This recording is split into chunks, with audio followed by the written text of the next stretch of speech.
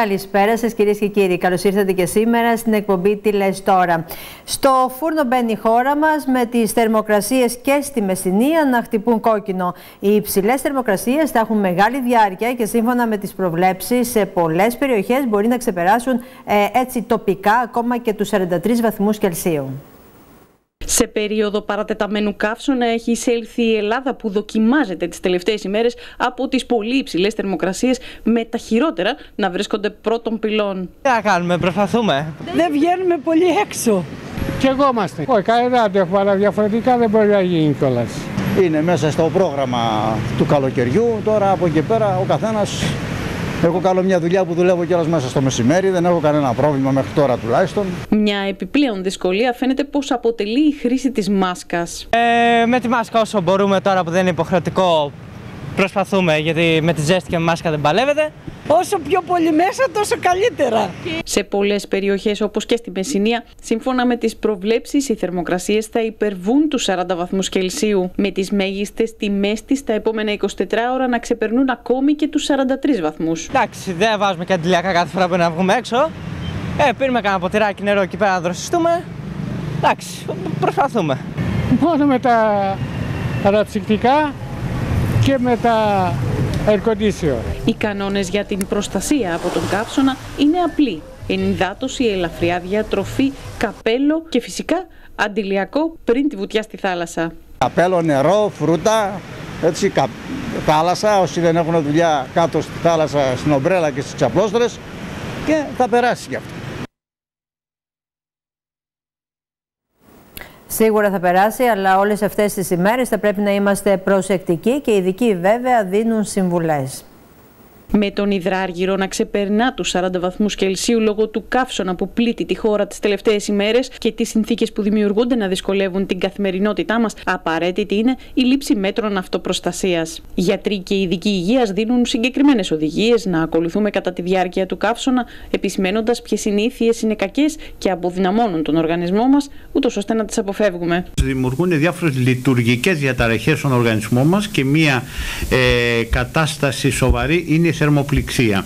Τα συμπτώματα τα οποία θα πρέπει να προσέχουμε είναι συγκεκριμένα. Ο, ο θερμόπληκτος ασθενής αισθάνεται μία δυσφορία, ε, έναν ε, έντονο πονοκέφαλο, μία καταβολή δυνάμεων, μία μεγάλη εφίδρωση, πόνο στο στήθος, με αποτέλεσμα να χάσουμε και τις ε, αισθήσεις. Τι πρέπει να κάνουμε σε περίπτωση που ένα άτομο υποστεί θερμοπληξία; Το θερμόπληκτο οπωσδήποτε τον, τον αφήνουμε κάτω, κάνουμε παραμερίζουμε τους περίεργους που σε τέτοιες ε, καταστάσεις μαζεύονται.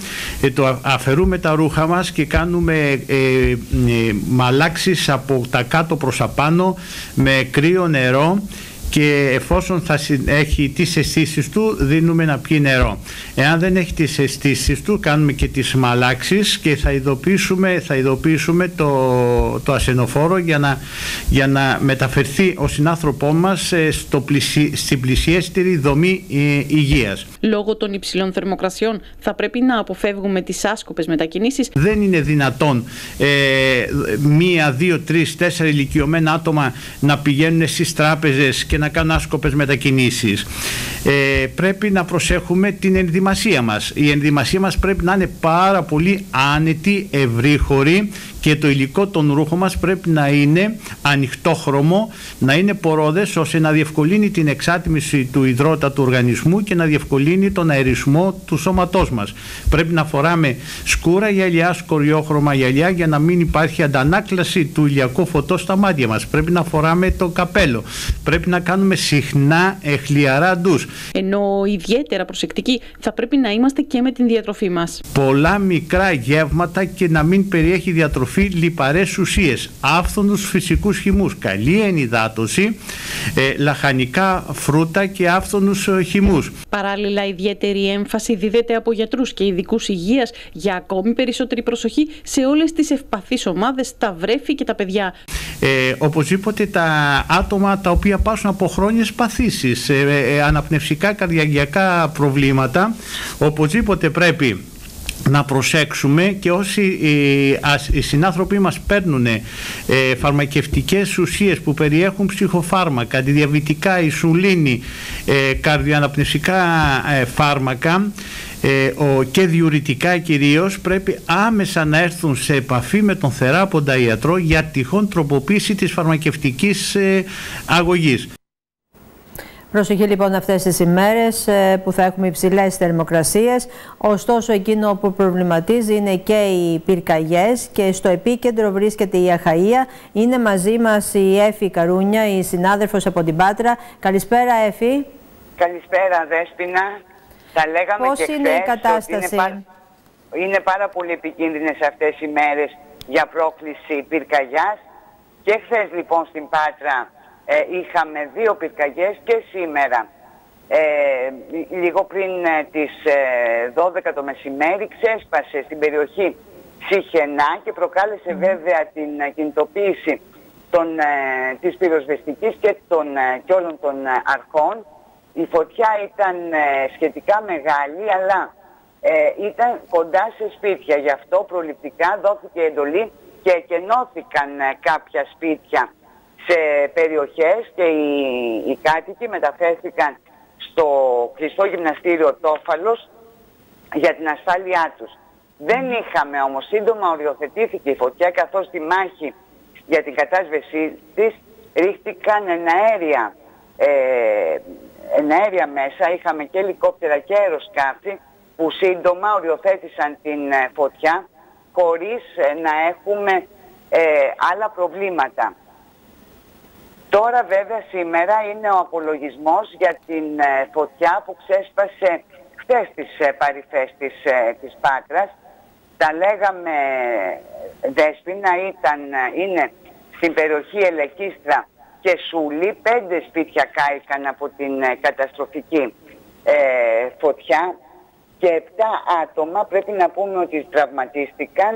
Τρεις από αυτούς είναι πυροσβέστες που αντιμετώπισαν σοβαρά αναπνευστικά προβλήματα, τρεις πολίτες επίσης με αναπνευστικά προβλήματα και ένας ε, ε, πολίτης που χρειάστηκε, που έπαθε ρίξει τένοντα καθώς ε, έσπασε τζαμαρία ε, επάνω του την ώρα που προσπαθούσε να σώσει την περιουσία του.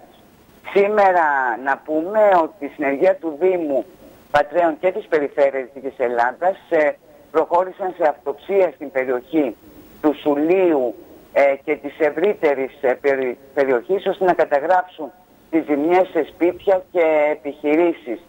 Επιχειρήσεις που και αυτές δεν ε, σώθηκαν από τις πύρινες ε, γλώσσες της φωτιάς. να πούμε ότι μέχρι αργά χθες το βράδυ τα, οι, πυροσβεσ, οι πυροσβεστικές δυνάμεις επιχειρούσαν για να την οριοθετήσουν καθώς και εκεί έχουμε μια κατοικημένη περιοχή και υπήρχε πρόβλημα για σπίτια και τους ε, και κατοίκους.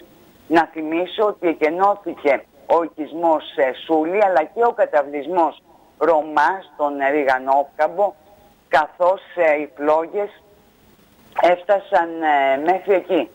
Αυτό που λένε όλοι σήμερα Δέσποινα είναι ευτυχώς που δεν θρυνήσαμε θύματα καθώς όλοι σκέφτηκαν την φωτιά στο μάτι γιατί και εκεί σε αυτές τις περιοχές έχουμε στενούς δρόμους, έχουμε ε, δρόμους που οδηγούν σε αδιέξοδα και αυτό που λένε σήμερα είναι ευτυχώς δεν θρυνήσαμε θύματα, Δέσποινα. Μάλιστα. Ε, δύσκολο φαίνεται το καλοκαίρι να είναι φέτος. Ε, να ελπίσουμε να πάνε όλα καλά. Προσοχή από όλους λοιπόν. Ε, να μην έχουμε τέτοιες ε, καταστάσεις. Ε, Έφη, να σε ευχαριστήσουμε. Καλή συνέχεια. Καλό απόγευμα. Καλό απόγευμα. Καλή δύναμη. Ε, Κυρίες και κύριοι, σε ένα σκηνικό έτσι όπως το βλέπουμε, καυτό σε πολλά επίπεδα η σημερινή επικαιρότητα. Από τη μία η πανδημία που σαρώνει στο πέρασμά της, από την άλλη το καμπανάκι για τον καύσωνα και τις πυρκαγιές και μέσα σε όλα αυτά υπάρχει και το οικονομικό σκηνικό. Πάντως το κρίσιμο έχει να κάνει με την αγωνία και τον προβληματισμό που επεκτείνεται σχετικά με την πορεία των κρουσμάτων σε αυτό το τέταρτο κύμα στο οποίο βρισκόμαστε. Ένα σκηνικό που ανησυχεί ιδιαίτερα ιδιαίτερα είναι πλέον η εμφάνιση αρκετών κρουσμάτων της μετάλλαξης Δέλτα και στη Μεσσηνία. Η Ελλάδα βρίσκεται όπως και δεκάδες άλλες χώρες στη δίνη της μετάλλαξης Δέλτα, με την κινητικότητα λόγω των διακοπών αλλά και της διασκέδασης, τη χαλαρότητα στην τήρηση των μέτρων και την επιβράδυνση του ρυθμού των εμβολιασμών να μετατρέπονται σε επιβαρυντικούς παράγοντες στην τεράστια επιχείρηση που διεξάγεται για τον έλεγχο της πανδημίας. Ο προβληματισμός και η αγωνία έχει χτυπήσει κόκκινο και στη Μεσσηνία μετά την είδηση για την εμφάνιση κρουσμάτων με τη μετάλλαξη Δέλτα και στην περιοχή. Ε, είναι λογικό ότι εφόσον παντού υπάρχουν, αργά ή γρήγορα θα ερχόντουσαν και στη Μεσσηνία. Όπως γνωρίζετε, εμείς τα αμοριακά τεστ κάνουμε τις λήψεις εδώ, παίρνουμε τα επιχρήσματα από το φάριγγα και τα στέλνουμε στην Αθήνα, στο Εθνικό Κέντρο Αιμοδοσίας, όπου γίνονται, γίνεται ο μοριακός έλεγχος. Και εκεί με τους, ε, αυτές τις εξειδικευμένες εξετάσεις εντοπίστηκαν ε, εχθές προχθεσινές λήψεις ε, πέντε κρούσματα, τα οποία ήταν με τη μετάλλαξη Δέλτα. Η μεταδοτικότητα του μεταλλαγμένου στελέχους Δέλτα τουλάχιστον 80% σε σχέση με το αρχικό στέλεχος κορονοϊού της Γουχάν που κυριάρχησε πέρσι το καλοκαίρι είναι δεδομένη και ιδιαίτερο ανησυχητική. Αργά ή γρήγορα, όπως είδατε, η Δέλτα ήρθε και στην ε, γειτονιά μας. Είναι πολύ μεταδυτική αυτή η μετάλλαξη και θα πρέπει να είμαστε πολύ προσεκτικοί και αν προχθές εντοπίστηκαν πέντε κρούσματα, σε μερικές μέρες θα γίνουν 50 χωρίς να το καταλάβουμε. Τα δείγματα ελήφθησαν στις αρχές της εβδομάδας και άμεσα ενημερώθηκε ο ΕΟΔΗ. Αυτοί μας ειδοποίησαν ότι εντοπίστηκαν, μας ζήτησαν λεπτομερή στοιχεία, τα οποία και δόθησαν πάντοτε σεβόμενοι το... τα προσωπικά δεδομένα και πάντοτε δεν ξεχνάμε ότι μπροστά στο κοινό συμφέρον το Σύνταγμα, τα προσωπικά δεδομένα κάπως θα μας αφήνει να είμαστε πιο χαλαροί. Πρόκειται για άτομα τα οποία είναι μέσης ηλικίας κατά μέσον όρο 40-45 χρόνια και φυσικά δεν έχουν κάποια τραγική συμπτωματολογία. Δεν γνωρίζω κατά πόσο είναι εμβολιασμένοι ή όχι όμω. Καθώς το τείχος ανοσίας εναντί του κορονοϊού συνεχίζει να οικοδομείται, οι εκκλήσεις από την επιστημονική κοινότητα προς τους πολίτες να μπουν και αυτοί υπό την εμβολιαστική ομπρέλα προστασίας είναι συνεχής. Ε, ένας λόγος παραπάνω να προσέχουμε περισσότερο και το κυριότερο να εμβολιαστούμε το συντομότερο δυνατόν γιατί μην ξεχνάτε ένας που δεν έχει εμβολιαστεί και ξεκινήσει τώρα μέχρι να κάνει και τη δεύτερη δόση και να αναπτύξει αντισώματα ένας μήνας θα περάσει. Από τη μία η πανδημία, από την άλλη ο καύσωμας ε, και μέσα σε όλα αυτά η αγωνία για την κατάσταση στα νοικοκυριά. Η εικόνα μοιάζει να είναι ξανά πιεστική και αυτό διαπιστώνεται και από τις κινήσεις που γίνονται για τη ρύθμιση οφειλών. Περισσότερα από 28.000 νοικοκυριά και επιχειρήσεις έχουν ήδη σπεύσει να ρυθμίσουν μέσω του εξοδικαστικού μηχανισμού τις οφειλές τους, μια τελευταία θα λέγαμε ευκαιρία που φαίνεται να υπάρχει υπό την απελή των κατασχέσεων και άλλων καταστάσεων. Περισσότερα από 28.000 άτομα, νοικοκυριά και επιχειρήσεις ξεκίνησαν μέσα σε δύο μήνες τη διαδικασία υποβολής της αίτησης για εξοδικαστικό συμβασμό οφειλών. Ήδη πάνω από 28.000 ε, νοικοκυριά και επιχειρήσεις έχουν μπει στην πλατφόρμα και ξεκινήσει τη διαδικασία της ρύθμισης τους τελευταίους δύο μήνες. Άρα λοιπόν υπάρχει πολύ μεγάλη ανταπόκριση σε όλη την Ελλάδα και σε αυτό οφείλεται θα έλεγα και στους φορείς, κυρίως τα επιμελητήρια και λοιπές οργανώσεις ανά την Ελλάδα που έχουν ενημερωθεί και προωθούν αυτή τη λύση για να βρει ο κόσμος ε, τη λύση στο πρόβλημά του με τα χρέη. Πλέον υπάρχει ένα πλαίσιο και μία διαδικασία. Η δημιουργία φακέλου περιλαμβάνει την άρση απορρίτου και η πλατφόρμα αυτομάτως με την εξουσιοδότηση του πολίτη βρίσκει όλα τα στοιχεία. Θα έλεγα ένα ζήτημα ήταν η ενημέρωση.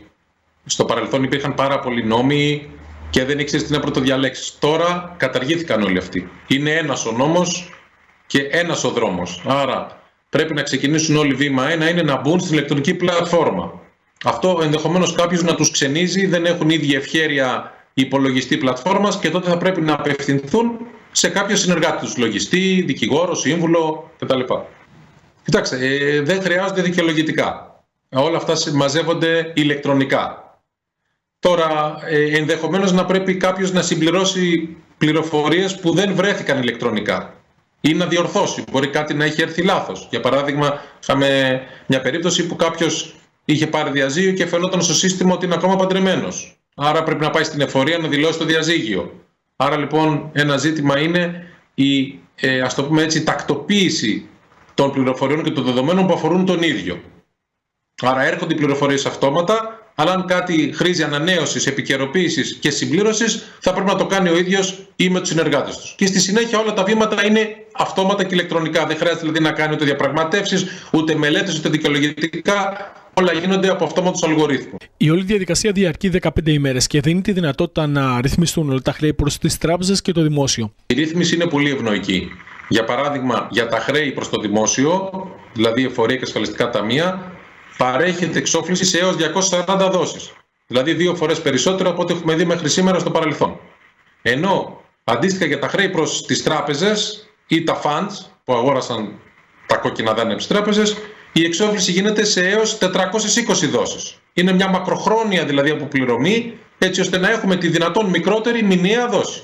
Προφανώς, εφόσον κάποιος μπει στην πλατφόρμα και ρυθμίσει τα χρέη του, προστατεύει όλη την περιουσία και την πρώτη κατοικία και την επαγγελματική στέγη. Αυτοί που κινδυνεύουν είναι όσοι δεν ρυθμίσουν τα χρέη τους. Εκεί λοιπόν οι πιστωτές, βάσει άλλης νομοθεσίας, έχουν τη δυνατότητα να προβούν σε κατασχέσεις λογαριασμών και πληστηριασμό ακινήτων. Άρα λοιπόν κινδυνεύουν όσοι δεν κάνουν τίποτα και δεν ρυθμίζουν τα χρέη τους. Να πάμε τώρα στην Αργολίδα και στη συνάδελφο την Κατερίνα την Κουρτέλη. Κατερίνα, καλησπέρα. Καλησπέρα, Δέσποινα. Ε, Κατερίνα, εχθές επισκέφθηκε την Αργολίδα ο Υπουργός ε, Προστασίας του Πολίτη, ο κ. Μιχάλης Χρυσοχοίδης. Μετά από τη Μεσσηνία ήρθε και σε εσάς. Βεβαίως. Έτσι ακριβώς δέσπινα. Ο Υπουργός λοιπόν Προστασίας του Πολίτη, ο Μιχάλης Χρυσοχοίδης, μαζί με τον αρχηγό της ελληνικής αστυνομίας, τον Μιχάλη τον Καραμαλάκη, επισκέφθηκαν μετά την Μεσσηνία και την Αργολίδα, την αστυνομική διεύθυνση. Εδώ είχαν συνάντηση με τον διευθυντή βέβαια της ε, αστυνομικής διεύθυνσης αλλά και με αξιωματικούς όπου για περίπου τρία τέταρτα μπορώ να πω συζήτησαν και κλεισμένων των θυρών βέβαια ε, για θέματα που αφορούν την ασφάλεια των πολιτών. Το θέμα είναι ότι όταν βγήκε μας έκανε δηλώσεις, στις οποίες αναφέρθηκε ότι ο λόγος της επίσκεψης του στην Αργολίδα ήταν ασφαλώς η ασφάλεια των πολιτών και πώς αυτό διασφαλίζεται. Ε, μίλησε όμως και για μηδενική ανοχή σε ομάδες που έχουν ε, δεδομένη την παραβατικότητα αποδεδειγμένα. Έτσι λοιπόν είπε ότι πλέον, δε, πλέον θα δείξουμε μηδενική, αντοχή, ε, μηδενική ανοχή συγγνώμη, σε όποιον ε, έχει παραβατική συμπεριφορά, περιγράφοντας ε, λογικά τους Ρωμά ε, και είπε ότι, δεν, ότι θα ενισχυθεί και η αστυνομική δύναμη της Αργολίδας ε, προκειμένου να μην δημιουργηθούν γκέτο και να μπορεί να γίνει αφικτή η ασφάλεια των πολιτών. Αυτό ήταν το, το σύνθημα, ναι. Το οποίο δόθηκε μόλις βγήκε ο κ. Χρυσοχοίδης.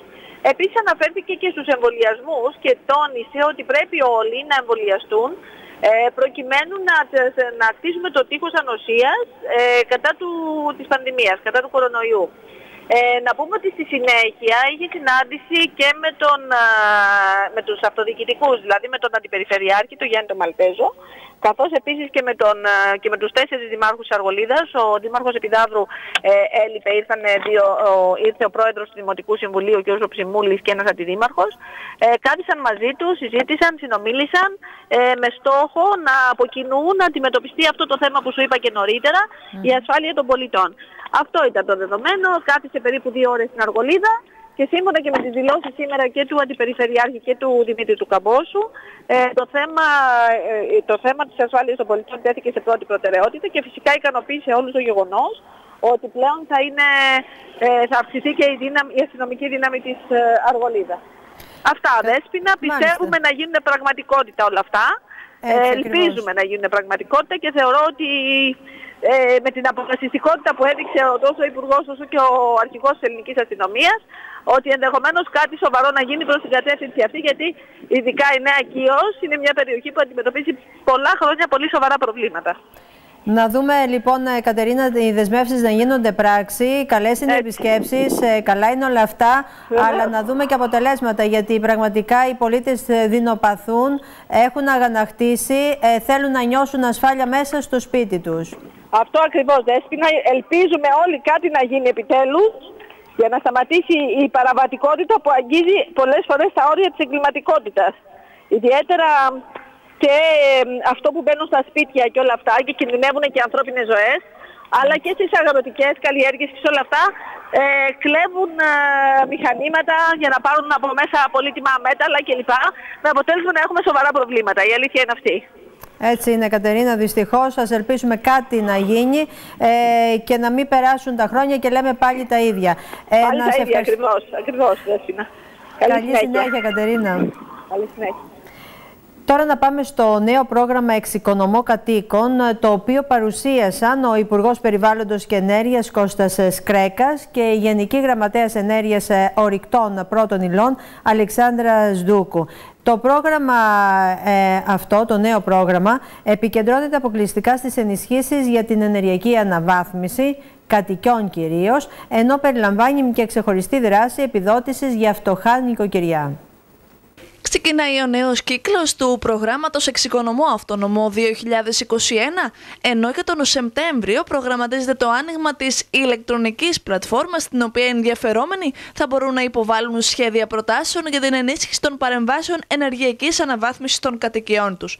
Σε αυτόν τον νέο κύκλο όμως υπάρχει διαφοροποίηση στα κριτήρια εισαγωγής των ενδιαφερόμενων, με αρκετούς, όπως φαίνεται, να μένουν απ' έξω. Το νέο πρόγραμμα Εξοικονομώ Αυτονομό θα είναι διαφοροποιημένο σε σχέση με το περσινό και το ε, προπέρσινο πρόγραμμα. Ουσιαστικά οι αλλαγές, οι σημαντικότερες αλλαγές αφορούν στην διαδικασία της υποβολής. Ε, πέρσι, ε, προκειμένου να εγκριθεί ένας φάκελος, το κριτήριο ήταν η χρονική προτεραιότητα υποβολής του φακέλου, ενώ φέτος και μετά τα παράπονα που υπήρξαν και από ιδιοκτήτες αλλά και από το Σύλλογο των Μηχανικών, θα υπάρχει ένα νέο σύστημα πιο αξιοκρατικό, στο οποίο θα δίνεται προτεραιότητα στα κοινωνικά ευάλωτα νοικοκυριά, στα ακίνητα τα οποία παρουσιάζουν μεγάλη παλαιότητα, καθώς επίσης σύμφωνα με το Υπουργείο θα υπάρχουν και κάποια κριτήρια τα οποία θα φορούν και θα δίνεται ε, περισσότερη, περισσότερη βαθμολογία στα ακίνητα τα οποία βρίσκονται σε περιοχές τα οποία, ε, όπου εμφανίζονται ακραίες καιρικές συνθήκες, ε, δηλαδή κρύο και ζέστη το καλοκαίρι οι ενδιαφερόμενοι θα πρέπει να τρέξουν από τώρα τις διαδικασίες υποβολής του φακέλου τους, ενώ όσοι δεν κατάφεραν να μπουν στο προηγούμενο εξοικονομώ θα έχουν την δυνατότητα να κάνουν την αίτησή τους σε αυτό το νέο κύκλο, αν όμως πληρούν το νέο κριτήριο που έχει θέσει το Υπουργείο. Όσοι δεν κατάφεραν πέρσι να μπουν στο πρόγραμμα Εξοικονομώ Αυτονομό, θα πρέπει εκ νέου φέτος να υποβάλουν την αίτησή τους, βάσει βέβαια των προδιαγραφών του νέου προγράμματος. Ε, να θυμίσουμε ότι τα προγράμματα εξοικονομώ αυτονομό είναι μια πρώτη τάξη ευκαιρία προκειμένου κάποιος να φτιάξει και να αναβαθμίσει ενεργειακά το σπίτι του. Γιατί πραγματικά όλοι θα πρέπει να αλλάξουμε αντίληψη σε ό,τι φορά και την ενεργειακή κατανάλωση των κατοικιών. Όπως σκεφτόμαστε και αναρωτιόμαστε όταν αγοράζουμε ένα αυτοκίνητο ε, και η πρώτη ερώτηση που μας έρχεται στο μυαλό είναι πόσο το αυτοκίνητο αυτό καίει, δηλαδή πόσο, πόσο καύσιμα καταναλώνει. Αντίστοιχα θα πρέπει να σκεφτόμαστε και πόσο καίνε και τα σπίτια μας. Αυτή είναι η λογική και αυτή είναι η ερώτηση η οποία έχει τεθεί τα τελευταία χρόνια από την Ευρωπαϊκή Επιτροπή. Γι' αυτό κιόλας και διατίθεται και πολύ μεγάλα ευρωπαϊκά κονδύλια προκειμένου να μπορέσουν ε, όλοι ή όσοι ενδιαφέρονται ε, ιδιοκτήτες να αναβαθμίσουν ενεργειακά τα σπίτια τους γιατί σίγουρα πέρα από το περιβαλλοντικό όφελος το οποίο είναι τεράστιο και όλοι το αντιλαμβανόμαστε, υπάρχει και τεράστιο οικονομικό όφελος ε, και για, τον, για του ιδιοκτήτες, αλλά και γενικότερα και για την κοινωνία. Η αυξημένη ζήτηση του προγράμματος και το γεγονός ότι οι πολλοί ενδιαφερόμενοι που είχαν πραγματική ανάγκη αναβάθμιση του σπιτιού τους έμειναν απ' έξω, έκαναν το Υπουργείο να αλλάξει το κριτήριο και να απευθύνεται στα κοινωνικά ευάλωτα νοικοκυριά, δημιουργώντας ένα σύστημα αξιοκρατίας. Πέρσι, όπως γνωρίζετε, ε, το κριτήριο, το μοναδικό κριτήριο ήταν η χρονική προτεραιότητα. Ουσιαστικά, ε, όποιος μπορούσε, όποιος μηχανικός ή όποιος ιδιοκτήτης κατάφερνε να υποβάλει ε, σε πάρα πολύ μικρό χρονικό διάστημα το φάκελό του στο σύστημα, έπαιρνε και την έγκριση χωρίς να υπάρχει ε, κάποια βαθμολογική αξιολόγηση. Δηλαδή, και εκείνος ο οποίος είχε εισόδημα 70-80 80.000 ευρώ οικογενειακό εισόδημα έμπαινε στην ίδια μοίρα με κάποιον ο οποίος είχε 10.000 ή 5.000 οικογενειακό ή ατομικό εισόδημα.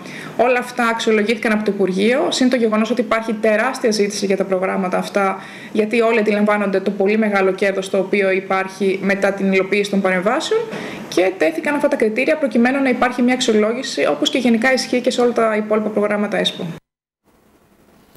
Τώρα η συρρήκνωση των τραπεζικών υποκαταστημάτων, ειδικά στην περιφέρεια, έχει δημιουργήσει μεγάλη αναστάτωση και έχει επιφέρει και λόγω της κατάστασης με την πανδημία ουρές και ταλαιπωρία στον κόσμο. Χαρακτηριστικές είναι εικόνες και στην Καλαμάτα, με τους πελάτες να πρέπει να υπομείνουν μια κατάσταση για να εξυπηρετηθούν πέρα από την αναμονή, τις μάσκες και φυσικά τον καύσωνα που δυσκολεύει την όλη κατάσταση. Το κλείσιμο των τραπεζικών υποκαταστημάτων σε διάφορες περιοχές της χώρας έχει δημιουργήσει όπως φαίνεται αρκετά ζητήματα με κύριο εκείνο που έχει να κάνει με την εξυπηρέτηση των πολιτών. Κάνα μισά μισή ώρα. Είναι η αναμονή είναι πάντα δύσκολη σε όλες τις ε, δουλειές, δεν είναι μόνο εδώ, είναι παντού και στο ταμείο να πας και στη ΣΟΠ και να πας υπάρχει αναμονή τώρα. Εδώ είναι λίγο πιο δύσκολο γιατί όπως είπατε έκλεισε το, το, το, άλλο ε, υποκατάστημα και είναι λίγο δύσκολο. Και νομίζω ότι είναι ακόμη πιο δύσκολο και με τη ζέστη και τις μάχες. Ε, βέβαια, ε, βέβαια, λογικό. Εννοείται, εννοείται πολύ δύσκολο. Είναι ουρά εδώ και Είχε μεγάλη αναμονή και πριν. Ναι, ναι, ναι, ναι. Η συρρήκνωση των υποκαταστημάτων που εξυπηρετούσαν τους πολίτες στις διάφορες καθημερινές τους συναλλαγές έχει οδηγήσει στην δημιουργία συνοστισμού και ταλαιπωρίας με χαρακτηριστικές να είναι εικόνες και στην Καλαμάτα. Θα κάνουμε μια ερώτηση. Μισή ώρα, μισή ώρα. Μισή ώρα, ε. Και δεν έχει εξυπηρετηθεί ακόμα. Όχι. Υπομονή, τι να κάνουμε, τι να βλέπουμε. Δεν βλέπουμε κάτι. Σίγουρα, ναι. Σίγουρα. Περιμένετε ώρα. Όχι πολύ, δεν περίμενα, αλλά είναι και οι πρώτες μέρες τώρα που έχει πληρωθεί ο κόσμος. Και με τον καύσωνα και με αυτά τώρα δεν μπορείς να περιμένεις πολλές ώρες. Να πάμε τώρα να δούμε τι γράφουν σήμερα οι ιστοσελίδες, ε, τα πρωτοσέλιδά τους και να ξεκινήσουμε με την ΆΗ εφημερίδα. Το πρώτο θέμα λοιπόν επιδεινώθηκε η κατάσταση στην Ελλάδα σε βαθύ κόκκινο, Νότιο Αιγαίο και Κρήτη, στο κόκκινο οι περισσότερες περιοχές. Και παραμένουμε στην ΑΕ εφημερίδα Καύσωνας Θηρίο και είμαστε μόνο στην αρχή που θα χτυπήσει σαραντάρια οι έξι κόκκινες ζώνες. Και συνεχίζουμε. Καρμύρης, δεν απολογούμε για το σχόλιο, έχω παιδεία μέα και γνωρίζω τι πάει να πει ρατσισμός. Και συνεχίζουμε με τη News έκτακτο δελτίο από την Εθνική Μετεωρολογική Υπηρεσία για τον καύσωνα που λιώνει τη χώρα. Πότε θα κορυφωθεί; Και συνεχίζουμε, Καρμύρης, δεν απολογούμε για το σχόλιο, έχω παιδεία μέα και γνωρίζω τι πάει να πει ρατσισμός. Βίντεο ντοκουμέντο. Ε, Μπούκαραν με σφυρί σε μίνι μάρκετ στη Θεσσαλονίκη. Αφού άδειασε το ταμείο, πήρε και τσιγάρα. Και πάμε στην ιστοσελίδα του ΜΕΣ, το πρώτο θέμα. Επελάβνει και στη Μεσσηνία η μετάλλαξη Δέλτα πάνω από πέντε τα κρούσματα. Παραμένουμε στην ιστοσελίδα του ΜΕΣ. Το κλείσιμο των τραπεζικών υποκαταστημάτων φέρνει ταλαιπωρία και ουρές. Και συνεχίζουμε ε, στο Δήμο Ιχαλίας με το Γιάννης Παλιάρα. Ε, ε, αυτά λοιπόν ε, είναι μερικά από τα θέματα που μπορείτε να διαβάσετε στις ιστοσελίδες σήμερα. Εσείς μπορείτε να ξαναγηθείτε, να δείτε και περισσότερα θέματα, να διαβάσετε και περισσότερα ό,τι σας ενδιαφέρει. Εμείς πάμε σε ένα σύντομο διαφημιστικό διάλειμμα και πανερχόμαστε.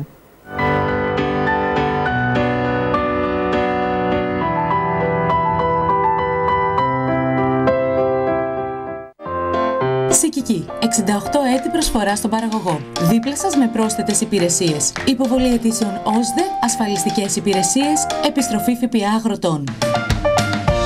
Σας περιμένουμε στο νέο μας κατάστημα στη Μεσίνη.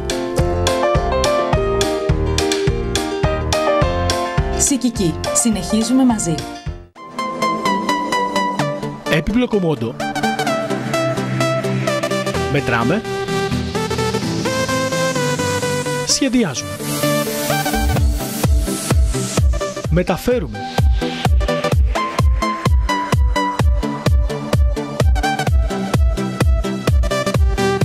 Τοποθετούμε. Νοιαζόμαστε.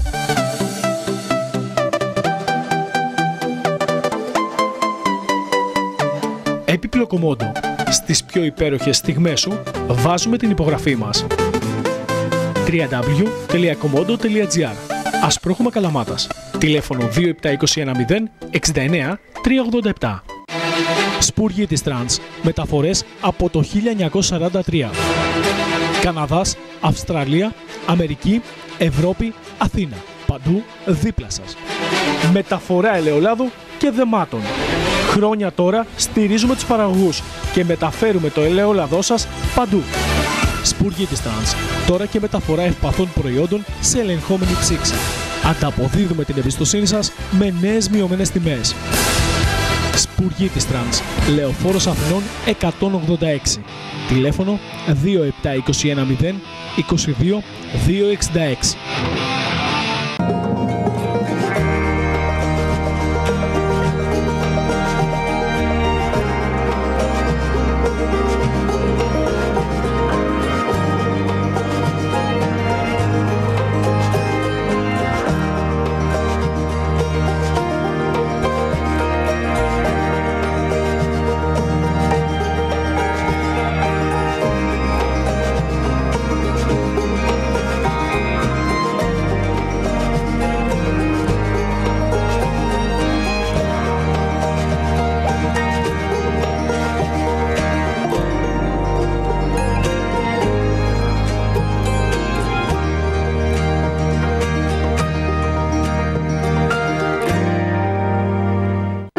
Τράπεζα Πυραιός συμβάλλουμε στην επανεκκίνηση του αύριο, στηρίζοντας και τον αγροτικό τομέα με το πρόγραμμα χρηματοδότησης σχεδίων βελτίωσης, παρέχοντας δάνειο προεξόφλησης επιχορήγησης, επενδυτικό δάνειο, δάνειο για φωτοβολταϊκά συστήματα, εγγυητική επιστολή για προκαταβολή.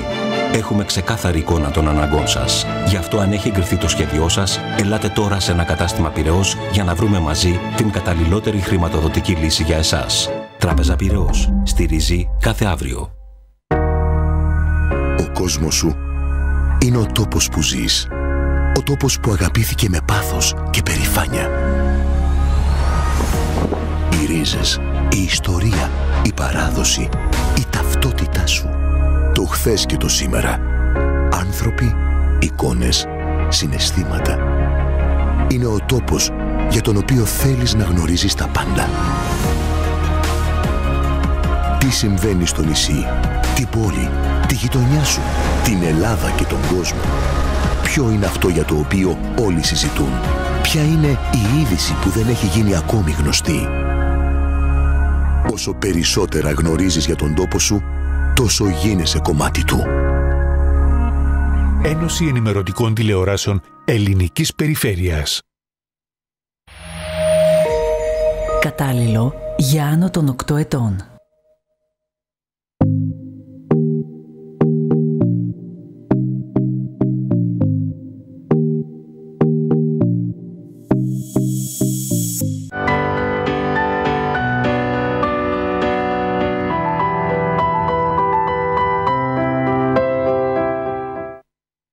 Επιστρέψαμε, είμαστε και πάλι εδώ και θα πάμε τώρα στην Τριφυλία και θα συναντήσουμε την κυρία Γεωργία Χριστοδούλου, την πρόεδρο της Ένωσης Ξενοδόχων ε, Τριφυλίας.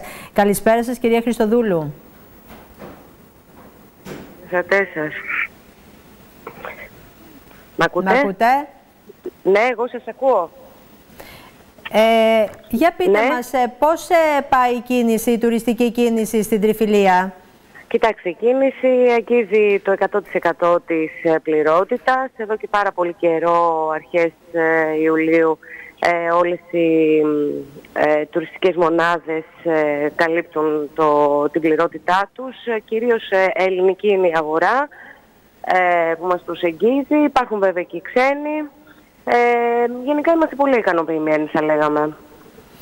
Ε, είναι παραπάνω από αυτό που προσδοκούσαμε; Η αλήθεια, ε, ναι, είναι παραπάνω από αυτό που προσδοκούσαμε γιατί ε, στην αρχή ήμασταν και λίγο επιφυλακτικοί. Ακούγαμε και για, την, ε, για το καινούριο, για τη νέα μετάλλαξη του ιού.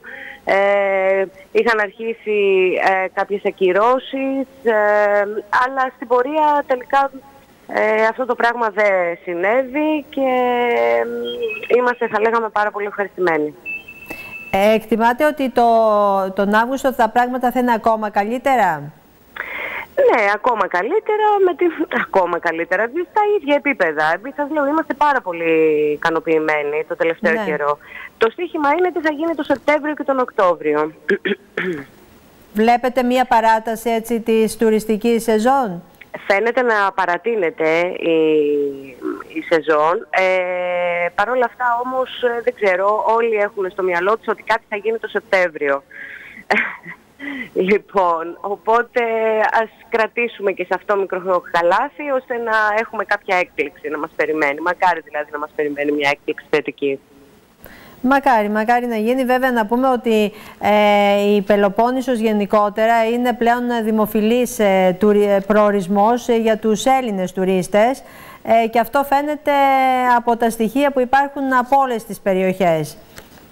Ναι, σίγουρα. Ε, κοίταξε, πολύ σημαντικό ρόλο έπαιξε το, το δικό δίκτυο και βέβαια ε, ότι είναι αναβαθμισμένο έτσι και βέβαια το ότι ε, οι έλεγχοι, δεν απαιτούνται έλεγχοι όπως ας πούμε στα ε, καράβια, στα ε, στα αεροδρόμια ε, προκειμένου κάποιος να, να ταξιδέψει. Όλα αυτά συνέβαλαν ε, ώστε και φέτος ας πούμε να θεωρούμε ότι ε, παίρνουμε τη μερίδα του λέοντος, θα έλεγα. Μάλιστα. Ε, τώρα για να πούμε και δύο πράγματα, το τι θα δει κάποιος όταν επισκεφτεί την Τριφυλία, ε, τι θα λέγατε; Ε, από τα, το έχουμε πει και άλλες φορές, ε, η περιοχή μας συνδυάζει ε, και πολλά έτσι, σημεία αρχαιολογικού ενδιαφέροντος, όπως ε, πολύ κοντά μας είναι ο ναός του Επικουρίου Απόλλωνα, η Ολυμπία, η Αρχαία Μεσίνη, τα ανάκτορα του Νέστορα, ε, βέβαια και εναλλακτικού ε, τουρισμού ενδιαφέροντα όπως η καταράχτη της Νέδας ε, ε, και άλλα τριγύρω. Ακόμα και για μας, φανταστείτε συνέχεια όλο και κάτι ανακαλύπτουμε. Ε, υπάρχουν και ακόμα και για μας τους ντόπιους ας πούμε εκπλήξεις. Ε, βέβαια τα προϊόντα της τριφυλίας και αυτά είναι σε πάρα πολύ έτσι θα λέγαμε, ε, ε, είναι τέτοια ώστε να προσελκύουν ας πούμε, το, τον κόσμο και οι ταβέρνες μας και τα εστιατόρια μας έχουν αναβαθμιστεί. Θεωρώ ότι η Κώστα Ναβαρίνο έχει πραγματικά εκπληρώσει το, το σκοπό της που ήταν η ανάπτυξη της τουριστικής συνείδησης ας πούμε, για την περιοχή ε, και η εξέλιξη γενικά όλων των επιχειρήσεων στο τουριστικό γίγνεσθε. Ε, αυτό να το αναγνωρίσουμε. Ε, Γενικά ε, θεωρώ ότι ε, ε, αυτό που, ε, σε συνδυασμό και με τα προηγούμενα που είχα, ότι αυτό που προσελκύει πάρα πολύ για τους πελάτες είναι το ότι συνδυάζουμε την, την ποιότητα με τις τιμές. Αυτό, οι τιμές είναι για όλα τα βαλάντια; Ναι, θεωρώ για όλα τα, τα βαλάντια. Θεωρώ για όλα τα βαλάντια, πραγματικά. Ε, συνέχεια οι επιχειρήσεις μας ε, ανακαινίζονται, ε, αλλά αυτό δεν σημαίνει ότι δεν σκέφτονται λογικά επιχειρηματίες. Θέλω να πω ότι πάντα ας πούμε, ε, σκοπό έχουν να ε, επενδύσουν με κάποια, με κάποια έννοια πούμε, στο μέλλον και να μην κάνουν αυτό που έκαναν τα παλιότερα χρόνια. Ε, μιλάω για τις περιπτώσεις της λεγόμενης αρπαχτής, για να το πούμε λίγο πιο λαϊκά. Ε, οπότε ε, θεωρώ ότι είναι πάρα πολύ προσεγμένα τα πράγματα στην περιοχή μας και τέλος πάντων και γι' αυτό χτυπάμε το 100% των, ε, της πληρότητάς μας. Ε, Παρ' όλα αυτά εκτιμάτε ότι ε, πάει καλά, εντάξει θα πάει και ο Αύγουστος καλά, ε, θα μπορέσει έτσι να καλύψει τα κενά που έχουν δημιουργηθεί από την πανδημία; Ε, κοίταξε, αυτό ε, θα φανείς στο το φθινόπωρο και το χειμώνα. Ε, είναι πολύ μεγάλη κουβέντα τώρα αυτή. Θεωρώ ότι η οικονομική κρίση ε, που θα υπάρξει θα αναπορεί όχι μόνο αυτής τώρα της περίοδου το, του ναι. καλοκαιριού, αλλά γενικότερα το τελευταίο δύο χρόνων. Ε, το θέμα είναι να βρεθούν κάποια, ε, πώς να πούμε, ε, να γίνουν κάποιες ενέργειες ας πούμε, από πλευράς πολιτείας ώστε αυτό το πράγμα να ε, μειωθεί και να μην είναι τόσο, τόσο έντονο. Ε, άρα και μιλώ για ότι... κάποιες ελαφρύνσεις, ε, ναι. είτε στα, στη φορολογία, είτε στα ασφαλιστικά, γενικότερα. Ε, χρειάζονται οπωσδήποτε έτσι μέτρα στήριξης ε, παραπάνω ναι. από ό,τι έχουν δοθεί μέχρι τώρα προκειμένου να επιβιώσουν και επιχειρήσεις γιατί σίγουρα ε, για δύο μήνες δεν νομίζω ότι είναι και τόσο εύκολο να καλυφθούν ε, όλες οι ανάγκες που έχουν δημιουργηθεί. Ε, ας μην ξεγελιόμαστε βέβαια. Αλλήμωνο. Ε, να σας ευχαριστήσουμε, να ευχηθούμε καλό υπόλοιπο καλοκαιριού. Ευχαριστούμε και εμείς. Ευχαριστούμε πάρα πολύ και για το βήμα που μας δώσατε και καλό καλοκαίρι και στους θεατές σας. Καλό καλοκαίρι και σε εσάς. Γεια σας. Γεια χαρά.